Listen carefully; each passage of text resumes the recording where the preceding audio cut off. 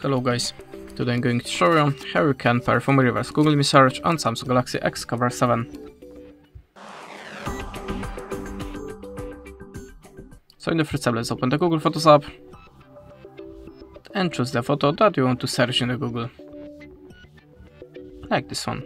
Select Google Lens and now we are looking for similar or the same objects in the Google Picture database. You can also change the searching area by swiping the edge of the square to look for something more specific and this is the way how you can do it. Thanks for watching and goodbye.